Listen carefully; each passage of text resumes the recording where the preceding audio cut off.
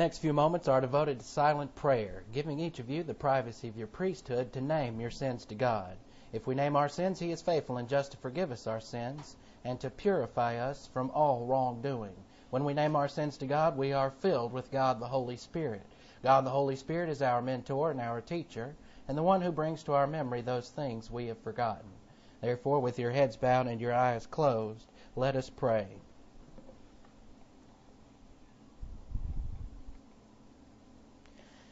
Father, we thank you for the wonderful privilege and opportunity to study this portion of the Word of God today.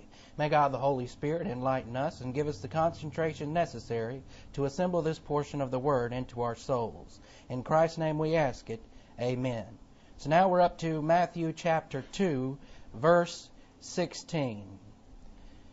When Herod saw that he had been duped by the wise men, he became outraged and Herod, later in his life, uh, really became power mad and a bit bitter about things, and well, he just went nuts. When when those uh, wise men uh, got through his security, he was well, it, he personally was offended by that because he had thought he was uh, going to dupe these people into coming back and disclosing the location of our Lord, but they didn't. They went another way and somehow slipped through uh, Herod's great security system, and Herod became enraged. He sent men, this is how enraged he became. He sent men to kill all the children in the area of Bethlehem, aged two and under, according to the time he had learned from the wise men. And that's because he wanted to make sure that if there was any young male, that that young male would be destroyed so he took about the time when the star had appeared as being the point of uh, the birth of Christ, and then he uh, gave himself a two year leeway to make sure he would be killed along with all the other uh, males. And that was according to the time that he had learned from the wise men. Then what was spoken by the prophet Jeremiah was fulfilled. Verse 18 A voice was heard in Ramah and Ramah is a small town on a hill between Jerusalem and Bethlehem, which means he didn't just uh, kill the young people in the in Bethlehem itself. He even went to the outlying areas and killed some of the uh, children living in the rural areas, such as this uh, small town that is located on a hill between Jerusalem and Bethlehem. Weeping and loud wailing Rachel. And the reason it says Rachel is because Rachel was one of Jacob's wives, and therefore this is an idiom. It's an idiom for all of the children of the uh, Jewish uh, mothers. So all the mothers were weeping and wailing, so prophecy was fulfilled. Ra- Rachel weeping for her children, the Jewish mothers weeping for their children, and she did not want to be comforted because they were gone. So a tremendous amount of suffering was incurred on these innocent people, and this shows the viciousness of King Herod. And King Herod was very vicious, but today he's burning in hell, and even his death was vicious. And the, uh, the, the description of his death is uh, pretty. He became to stink so terribly, nobody wanted to be around him while he was alive. Just a ter- tremendous stench, and, nobody could really tend to him, and he pretty much rotted to death as part of uh, his punishment for uh, being such an evil person. And now, of course, he's in hell. After Herod died, and Herod died in about uh, 4 BC. So we see that the birth of Christ actually was in 4 BC, and this is because some of the uh, people who kept calendars in the Middle Ages, uh, they got, well, it's about four years off. So even though we have before Christ and after Christ, uh, the actual calendar is about four years off. So it's about 4 BC that our Lord was born. And the scholars say, well, you see, that was the same time when the two planets are aligned to make the brightest star. Well, maybe that's true. And so after Herod died, an angel of the Lord of the Lord appeared in a dream to Joseph in Egypt, saying, Get up, take the child and his mother and go to the land of Israel. For those who were seeking the child's life are dead. Those refers to Harold or Herod, not even uh, not just Herod, but also his sons Alexander, Aristobulus, and Antipater, and they all wanted Jesus dead. His sons were just as vicious as he were, as he was, yet they were a bit uh, stupider. Herod was pretty smart in his construction of everything uh, related to Jerusalem, including the temple. And if you have a, a Bible that has pictures of some of these things, it is phenomenal, all the construction that went on in Jerusalem at that time. So uh, they were dead. Those who were seeking the child's life are dead. And those refers to uh, not only Herod, but also some of the others who wanted Christ dead. So he got up and took the child and his mother and returned to the land of Israel. So uh, Joseph heard this and just got up and obeyed the command and went straight back to Israel, no questions asked. And even though he was probably well settled in Egypt by now, and no questions asked, just do what the Lord says. And this shows, again, part of Joseph's nobility, his grace orientation, and his ability to move when God says move. But when he heard that Archelaus was reigning over Judea, in place of his father Herod, he was afraid to go there because he was a very cruel man, just as his father was. So after being warned in a dream, he went north to the region of Galilee. So Joseph uh, settled in Galilee because there's a different ruler in Gal- Galilee. And this would be Archelaus' younger brother, and this would be Herod, uh, Herod Philip. And Herod Philip was a benevolent despot. It is possible to have a dictator who is benevolent. Now, uh, like Saddam Hussein, he wasn't benevolent. But Iraq could have had another dictator who would have been benevolent. And some people might uh, say, well, why does the United States support this guy? He's a dictator. Well, in some cases, we're wrong. But in some cases, they are benevolent dictators, and there's nothing wrong with that whatsoever because uh, uh, we're shoving democracy everywhere, but democracy isn't really the highest form of government. Remember, uh, the monarch will be the highest form of government when Jesus is the king. Then, of course, it's the greatest form of government.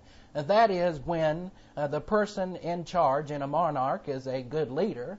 Then, of course, things get done rapidly and a lot of changes occur. In our system, it grinds very slowly when things want to get done. But that's a blessing in disguise nowadays because the way people think, uh, we would have already been in communism if people could do it as quickly as they want to.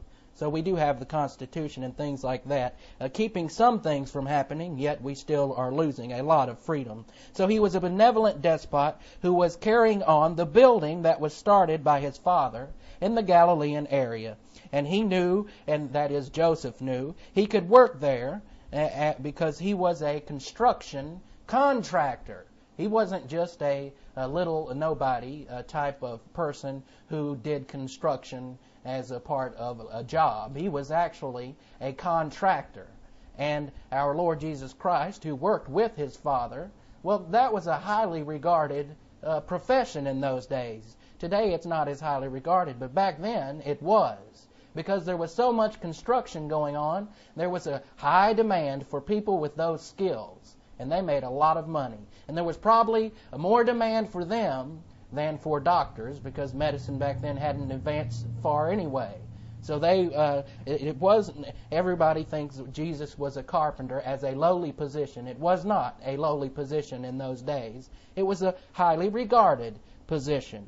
And that is what uh, Joseph worked in, and that is what Jesus would also work in, because in the family, if the father did something, usually the son would follow suit and carry on the family business. That's the way it worked in those days. so he went to Galilee because it would be more favorable. Then in 23, he came to a town called Nazareth now, Nazareth, of course, we have the Nazarenes, and this is a very small village in Galilee. It's north of Samaria and Judea. It's located about 15 miles west of the southern edge of the Sea of Galilee. So it's 15 miles west of the Sea of Galilee, and we hear about our Lord, and we'll see our Lord later, going to the Sea of Galilee uh, quite often. So they moved to Nazareth and lived there. Then what had been spoken by the prophet Isaiah was fulfilled, that he would be called a Nazarene. Now, he would be called a Nazarene, but he was not of the line of the Nazarenes. So when you see a picture of Jesus with long hair, while the Nazarenes had long hair, Jesus did not. Because in 1 Corinthians, of course, uh, long hair on men is prohibited.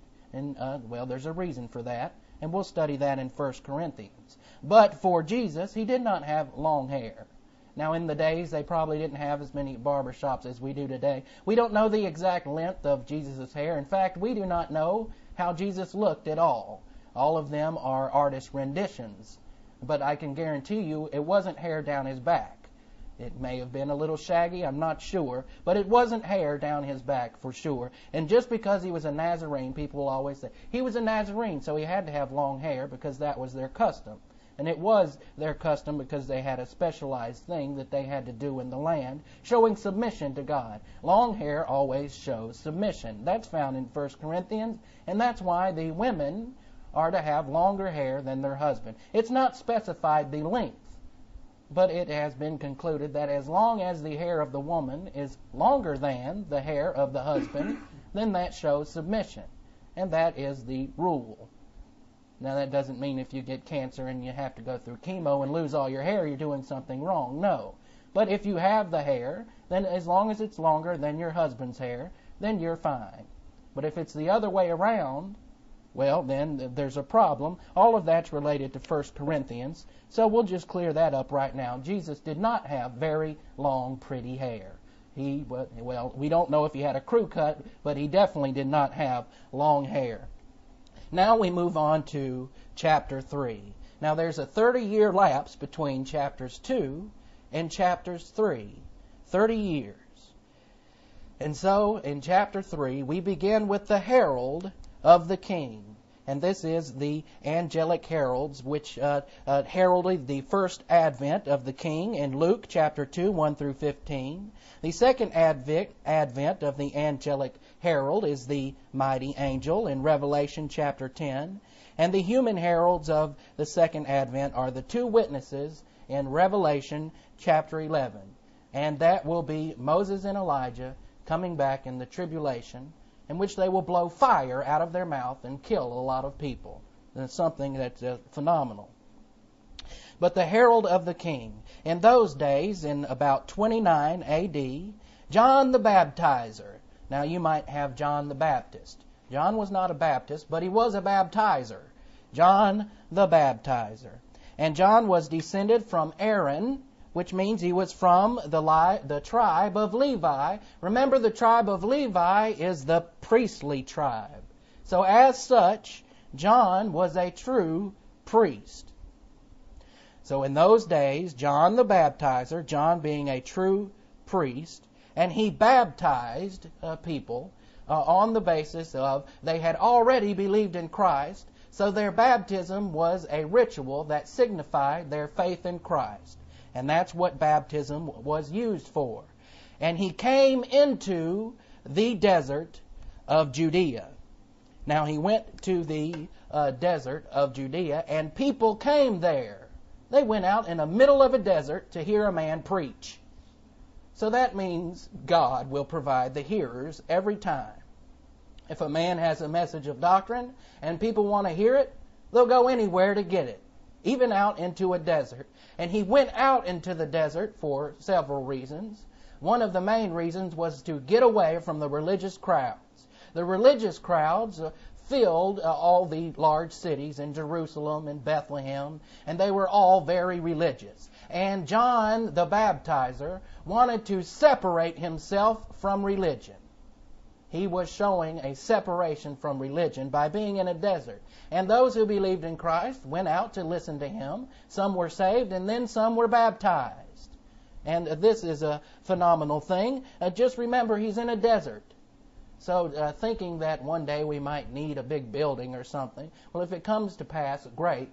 But uh, really, uh, people will show up anywhere to get the Word of God. Even if we had to stand out in heat and humidity, if they thought it were important, they would be there because they stood out in the heat with John the Baptizer. So we came into the uh, desert of Judea, continually proclaiming.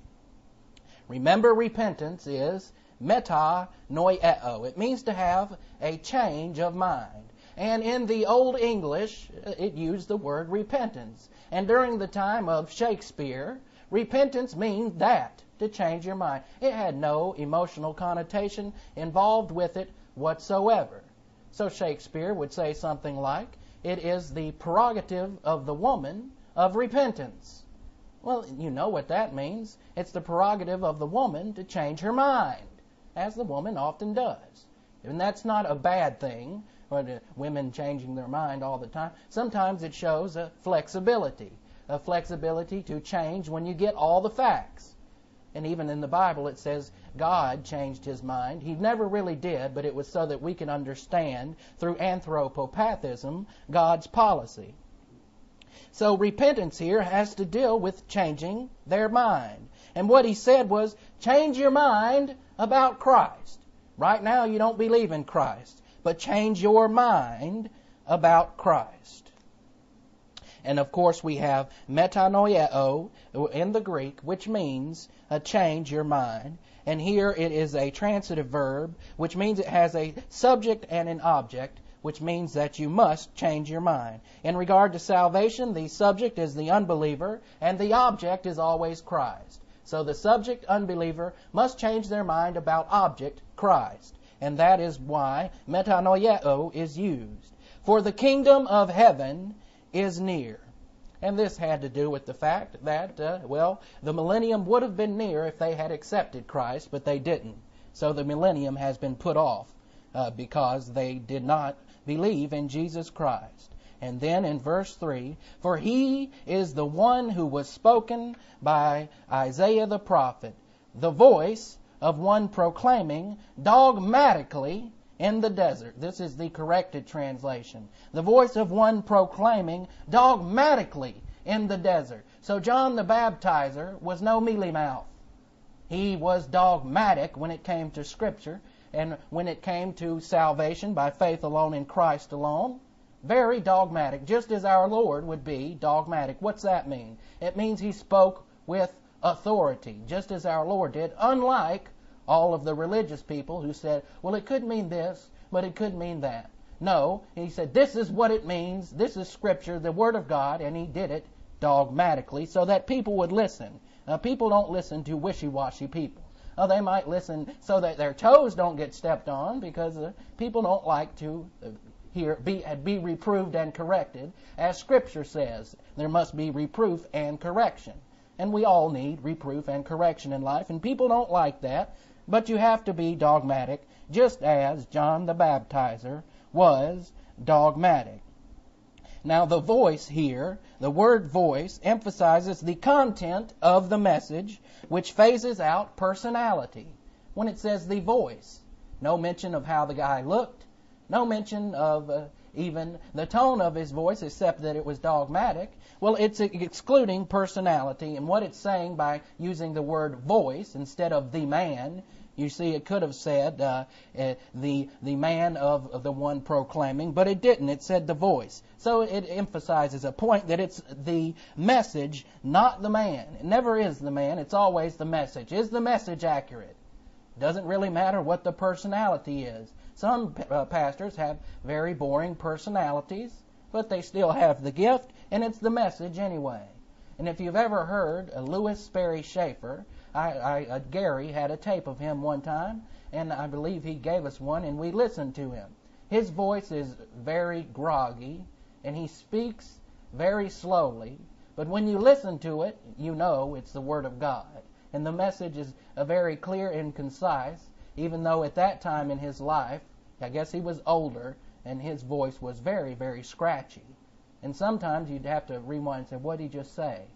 But it was still a message that people heard, president of Dallas Theological Seminary. So a voice must have a brain, and therefore you have to have uh, the person teaching the Word of God must know something about doctrine in order to teach it, and so that they won't be uh, flopping back and forth when it comes to Scripture. Then he says, Prepare for salvation the way of the Lord. Prepare for salvation, the way of the Lord. This is the aorist tense in the Greek, and this means that it is at a point of time when someone believes in Jesus Christ. And remember, we can break life down into three phases. Phase one, believe in Jesus Christ. Phase two, live your spiritual life. And phase three is, of course, when you depart and go to be with the Lord. So those are the three phases of life. And here it's dealing with phase one. Prepare uh, you, the way of the Lord. That means salvation. People were being saved, and he was there giving the gospel to prepare the way for salvation, preparing the way of the Lord. Simply means giving the gospel, and at a point in time, people believed in Christ. Make his paths straight. And this has to do with phase two. And in this case, it's referring to the rebound technique. So what was occurring was uh, the John the Baptizer was preaching the gospel and people would believe, and he was also teaching people to rebound, and they would rebound. He was teaching them the two most basic doctrines, preparing the way for the Lord. And that is what uh, every pastor uh, should uh, teach right off. First of all, salvation. Secondly, rebound. The two most important things, the first being, of course, to be saved, and the second in your experiential spiritual life, to know rebound so that you can, uh, in our case, continue to be filled with God the Holy Spirit. In verse 4, chapter 3, verse 4. Now, John's clothing was made from camel's hair, with a leather belt around his waist, and his food was locust and wild honey. Then, we have the word then in verse 5. This means after John had did what God wanted him to do. And what God wanted him to do was to be in a desert because the desert uh, only doesn't have it doesn't have people. There's no people in a desert because people live near where there's water. There were no people there, so that was one point so that people would go there from positive volition. Secondly, no religion in a desert and John the Baptizer liked that idea to be separated from the religion which was rampant in those days. Then people kept going out face to face with him from Jerusalem and all Judea and all the region around the Jordan.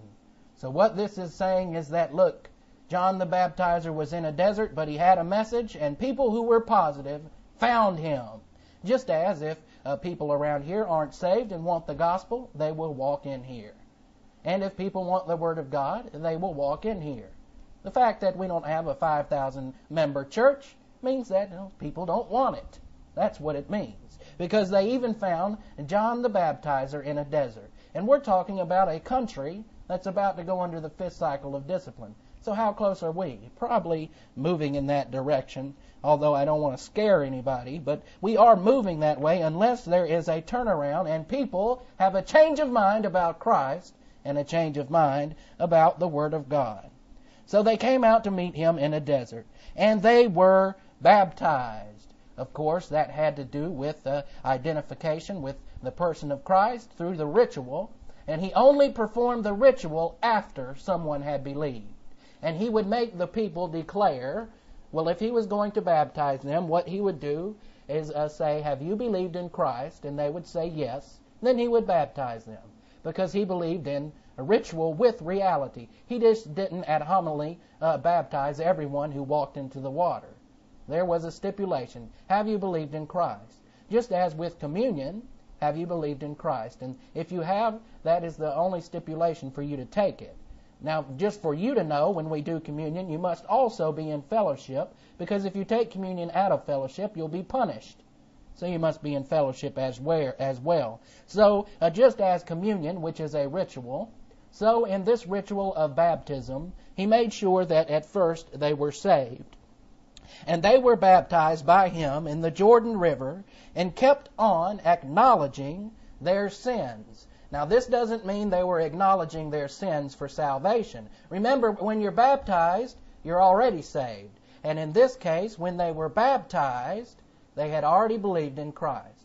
The fact that they kept on acknowledging their post salvation sins means they were living their spiritual life, and John the Baptizer was teaching them rebound. And they knew how to do it, and they did it. So that's what it means. It doesn't mean they went to the river and named their sins and then were baptized. No, they were baptized then they kept on, this is the way it's given in the Greek, kept on acknowledging their sins. So every time they sinned, and they did, they named them to God, their post salvation sins. Now on to verse uh, 7 of chapter 3. But when he saw many Pharisees and Sadducees coming to be baptized. Well, what happened is uh, John the Baptizer looked out and he recognized the Pharisees and Sadducees. And he they're easy to spot because usually they have a holy look on their face and it's really to me it's holy crap but they come in looking with their uh, pious look and they have their special language that they use, so he picked up on that right away. And usually a special code of dress, a holy type of dress, in which uh, they try to appear to man to be holy. So he immediately spotted the Pharisees and Sadducees coming to be baptized. Now, the Pharisees were members of one of the most important and influential religious and political parties of Judaism at that time. And religion oftentimes likes to associate itself with politics. And even in Christianity today, in our country, Christians are trying to have impact through politics when your impact is invisible. Don't go around trying to change legislation. Don't go around trying to shut down the uh, nudie bars. Well, this is the devil, devil's world. We're going to have things like that.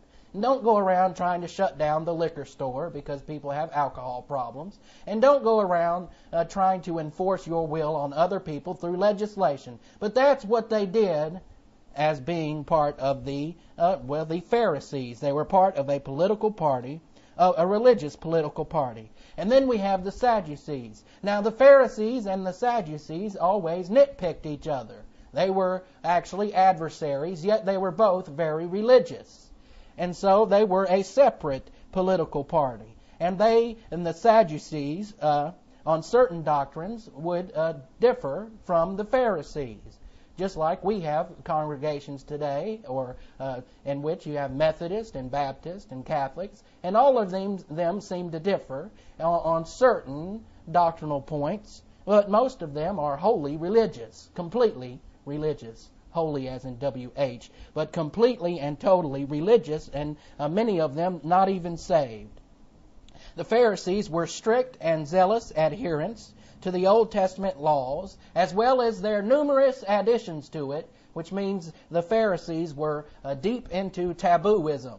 And they had certain taboos that weren't even listed in the Mosaic Law that they created because of their own religious ideas. The Sadducees were Hellenized, meaning uh, they uh, were more of the rational political party, and that's because uh, being Hellen- Hellenized, well, the Greeks like to be uh, rationalistic, and they were usually aristocrats, the wealthier. Uh, of them, not, and the Pharisees weren't as wealthy, and they controlled the official political structures of Judaism at this time because they were the majority of the members of the Sanhedrin so they were the majority, so they were the ruling party. That would be the Sadducees. But both the Pharisees and the Sadducees were very religious, and they came to be baptized. Some of them came out of curiosity to see what was being said. Others of them came to, well, uh, uh, nit, nitpick at everything John the Baptizer had to say. So, uh, John the Baptist, being baptizer, sorry, it's just a habit. John the Baptizer uh, being very dogmatic, uh, looked at those people and said this You generation of vipers. Now imagine you just walk into a church and somebody stands up and looks at you and your manner of dress and knows you're very religious and looks at you and stares you in the eye and says, You generation of vipers. Well, you would be highly offended unless you had some humility about you. So John the Baptizer didn't compromise when it came to Scripture. He uh, said, first time he ever saw him, You generation of vipers, who warned you to flee from the coming wrath? That is the baptism of fire. Who, who warned you to flee from the coming wrath? In other words, who warned you about hell fire? Why are you here, you who are going to hell? Very tough. Therefore, Then we have, uh, from the Greek, it actually means produce the result. This means that before I baptize you, you must give a verbal announcement to me that you've believed in Christ. And that's what he said. Therefore, before I baptize you, produce the result. That proves your change of mind. That proves your change of mind about Christ. And don't think you can say to yourselves, we have Abraham as our father. And what, the, what they thought is that salvation came genetically. They would be in Abraham's bosom, which would be uh, paradise, simply because they were born uh, from the lineage of Abraham. And so he says, uh, Do not say to yourselves, as they often did, We have Abraham as, I, as our father. For I tell you that God can raise up children to Abraham from these stones. Now, he could have, but he didn't because that would have been outside of the angelic conflict. Uh, human beings needed to believe in Christ. Although, very well, God could raise up stones and call them children of Abraham and take them to heaven. It is a possibility, but it's not going to happen because, uh, well, there's an angelic conflict, and it would be of no value in the courtroom to do so. But what John the Baptizer is telling them is look, you're not saved because you were uh, born under Abraham. You're saved by a change of mind about Christ. Believe in Christ. That's the way of your salvation. And if you think you're saved because of your uh, lineage, because of your birth, and because of who and what you are, God can turn stones into Abraham's children. So he was being very, very tough with these uh, Pharisees and Sadducees who walked up to uh, see to be baptized. Even now, the axe, he's still being tough. And the axe refers to divine discipline. Even now, the axe is laid at the root of the trees. This is talking about divine discipline. And every tree that does not produce intrinsically good fruit, this has to do with the experiential spiritual life. You see, these religious people thought they were producing good fruit by their good works, by their good deeds. So he tells them, unless you're producing intrinsically good fruit, that is, divine production, you will be cut down and thrown into fire. That just means you're identified with fire. Indeed, I identify you, this is in the kingdom of heaven, with water, because of your change of mind, that is, about Christ. Indeed, I, I identify you with water because of your change of mind with Christ. And in fact, this was the first time in history that uh, people were being baptized. It, uh, we have the baptism of Moses, but remember, not one of those children of Israel got wet in the baptism of Moses. They walked through on dry land. The baptism of Moses means identification with Moses. They all identified Moses as the leader when they walked on dry land through the sea. And so that is what baptism means. And I told a Catholic person that one time because they said, I have to be baptized to be saved, and they do the sprinkling on of water. And I said, Well, which baptism? The baptism of Moses? Well, what do you mean? I said, The baptism of Moses in the Bible. And then they got offended, of course, because they couldn't uh, uh, well, they just didn't know Scripture, as all, most people don't. Even now, the axe, divine discipline, is laid at the root of the trees, and every tree does, that does not produce intrinsically good fruit will be cut down and thrown into the fire, that is to be identified with fire. Indeed, I identify you with the, in the kingdom of heaven with water because of your change of mind about Christ. But he who is coming after me is more powerful than I, whose sandals I am not worthy to lace. He's talking about the Savior, Jesus Christ. He will identify you with the Holy Spirit. That is, at the moment of salvation, we are identified with the Holy Spirit. That's why when it says believe and be baptized, well, actually believe and as a result, you are baptized. Apart from yourself, we are baptized with God the Holy Spirit. And we've studied the baptism of God the Holy Spirit in detail. Now, the baptism of God the Holy Spirit is not found in the Old Testament. It was prophesied by Jesus during his earthly ministry in Acts chapter 1 verse 5, and the mechanics of uh, the baptism of the Holy Spirit are found in 1 Corinthians chapter 12 verse 13. So this has to do with the baptism of the Holy Spirit that Jesus uh, will come and uh, baptize you, the baptism of God the Holy Spirit. Whose sandals I am not worthy to lace. He will identify with you with the Holy Spirit and with fire. What is this? This, uh, you hear baptism, nobody runs around saying, I've been baptized with fire. Well, that's because if they were, they just went to hell. This has to do with the uh, baptism of fire at the end of the tribulation when all unbelievers will be taken off the earth and only believers will be left. And that has to do with the baptism of fire, whose winnowing fork is in his hand, and he will clean out his threshing floor and will gather his wheat into the storehouse. What is this? This, remember, Matthew is written to Jews. And remember that right now there is no church age. So this isn't talking about the resurrection of church age believers, the winnowing fork. It's not possible.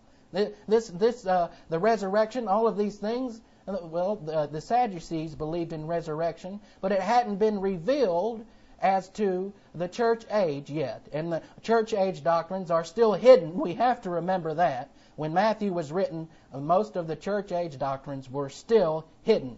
And it was the Apostle Paul, along with the others, who would start to bring out the mysterion doctrines. Before this time, none of that. So uh, Matthew, addressing the Jews, is addressing, well, what occurs at the end of the tribulation. And his wheat into the storehouse will be his wheat the believers going into the millennium. Those who were spared the baptism of fire because they had believed in Christ now go into the storehouse, into the millennium. But the chaff he will burn, according to his norm and standard, is what it means, according to his integrity, because his justice was not satisfied because they did not believe in Christ. So the chaff will be burned with an inextinguishable fire and that will be at the end of the tribulation when all the unbelievers will be, uh, as it were, winnowed out and cast into the lake of fire. Then in verse uh, 13, we have the baptism of the King. Chapter 3, 13. Then, and that means at that point, Jesus came from Galilee to John to be baptized by him in the Jordan River. But John said no, saying, I need to be baptized by you, and yet you come to me? Well, here is the Lord Jesus Christ, John's uh, John the Baptizer's Savior, the one he's been talking about, making a straight path for, and uh, teaching people that the kingdom of heaven is at hand. And so, uh, this is what occurs when Jesus comes. He has a lot of humility and understands that uh, he is saved by Christ. But then Jesus replied to him, Do it now. In other words, uh, stop arguing. Do it now, for it is right for us to fulfill all righteousness. Now, all righteousness is going to be fulfilled at the cross. And so Jesus is saying it is right to have all righteousness fulfilled. All of it will be fulfilled at the cross because the one who is all righteous did all the work. Who is all righteous? Jesus Christ, not us. You see, uh, Jesus Christ is the all righteous because he did the work. Behind this is redemption, where the Savior must be perfect righteousness to purchase the spiritual freedom for the human race. So righteousness uh, brought Jesus where sin brings us. Where does sin bring us? To the cross. Where did righteousness uh, take Jesus? To the cross. So you see the analogy here. We go to the cross for our righteousness. Jesus was righteousness, was righteousness, all righteousness, so he had to go to the cross. It was the only means of our salvation. If it could be done another way, uh, for example, when Jesus prayed, If it be your will, take this cup from me. In other words, if it be your will, find another way for these people to be saved. But it wasn't. This was the only way. And that is because of all righteousness that our Lord uh, had. So uh, no one can really uh, follow the Lord into this baptism. What baptism? The baptism, the identification with our sins. And uh, at one point, Jesus uh, tells those with him uh, who are anxiously wondering if they will sit at his right hand, they say to him, uh, uh, something to the nature of, Will I be at your right hand? And then he says, Well, if you are able to drink from the cup that I drink. What is that? He, he was about to take on the, all the sins of the world. But they didn't understand what he was saying, so they said, Oh, yes, Lord, we can drink from that cup. And no, they couldn't. And shows their ignorance. So he, the cup that he is going to drink is the identification with our sins. So the ritual baptism of, G, of Jesus Christ was unique in that he declared his positive volition. In other words, he's declaring, I'm going to the cross. That's why he was baptized, because he's saying, I'm going to the cross to be identified with all of your sins.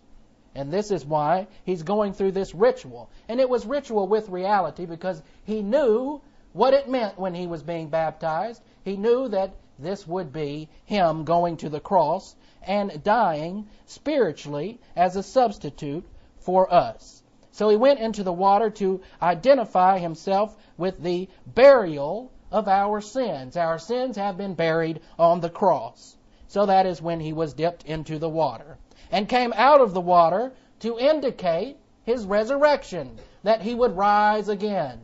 So he goes in the water, identification with our sins, up out of the water, identification with the resurrection. All of this was a point of doctrine that he was teaching, that he would be the one who would take on the sins of the world. So his baptism was unique in that it was a ritual that represented something dealing with himself. So he would rise again and be in the presence of the Father as a, as a member of the human race on our behalf. Therefore, we do not follow the Lord into baptism. And that's a heresy. We can't follow the Lord into baptism, and a lot of uh, churches have started to say that or have said it all along. To follow Jesus in baptism, you can't. He was his baptism was identification with our sins. So pastors who think that are thinking just like the people who said, "I can drink from the same cup," and you can't. They don't even know what it means. It means the imputation of all the sins of all of human history. So after Jesus said this, and John had learned a point of doctrine from our Lord, then John yielded to him. And after Jesus was baptized, and I just indicated what that was all about, just as he was coming up out of the water, the heavens suddenly opened, and he saw the Spirit of God. This is the sustaining ministry of the Holy Spirit, which is prophesied in Isaiah uh, chapter 11, verses 2 through 3, along with other passages in Isaiah. This represents the sustaining ministry of the Holy Spirit that was given to our Lord without measure, found in John 3:33, and sustained the humanity of Christ on the cross for at least 3 hours. This is the sustaining power of God the Holy Spirit the dove is an indication of uh, God the Holy Spirit uh, coming on him. And it, although he was born with it, it was a, a, type of the ritual so that everyone could see it. Everyone could see uh, what was occurring. And a voice from heaven said, The one keeps on being the one, that is Jesus Christ. This one keeps on being my own beloved Son, in whom I take great delight. And uh, God the Father could take great delight in God the Son because he was sinless. And that is why the dove came down and made that very clear to everyone. Now, in chapter 4, uh, we will uh, go there tomorrow, chapter 4. And you might remember chapter 4 from uh, the uh, special, the Easter special. And this is where we have the doctrine of kenosis, and we'll go over it again. And this is uh, very significant. And it's very significant for us spiritually as well. Because we too have the same protocol. He had the prototype. We've been given the protocol. So we see how Jesus is living. We're seeing the first part now. We're seeing when he was baptized, showing that he's going to the cross. And we, we are going to see tomorrow how he will be tested and how he handles these tests under the filling of God the Holy Spirit. The same filling of God the Holy Spirit that you have. And we will see how he endured some tremendous testing, and yet he even endured more when he went to the cross. And this is actually beginning with chapter 4. This is the beginning of our Lord's evidence testing. And then on the cross, of course, it goes way beyond evidence testing. And we, we note from this the prototype spiritual life worked for our Lord, and the protocol spiritual life will work for us. And if any of you are ever guilty of saying doctrine doesn't work, it's not that doctrine doesn't work, you just haven't learned these things of Scripture in order to apply them in your life. So, with your heads bowed and your eyes closed, Father, we thank you for the wonderful privilege to study this portion of the Word. Uh, may these things of Scripture edify us, and may we come to learn more and more uh, your knowledge, to grow more and more in, in grace and in knowledge. In Christ's name we ask it. Amen.